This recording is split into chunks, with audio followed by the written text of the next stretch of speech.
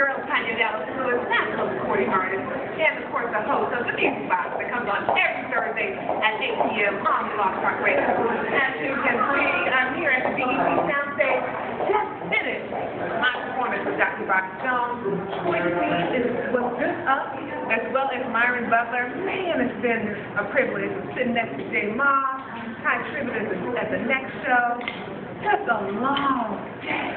And hardest work is ever done. But I'm having a great time, and I just want to say thank you to my manager, Wanda Adams, as well as to my engines that keep me going, the CDL engines, and of course, my three trusted men, my husband, Dale, and my two little boys, Al- Alex, and Orion. So, anyway, the day is finally over.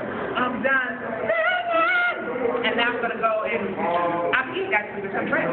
So if you want more information, please look me up. My Disney CD Miracle is out right now. With the combinations on all three thousand charts in the top 100. At All right,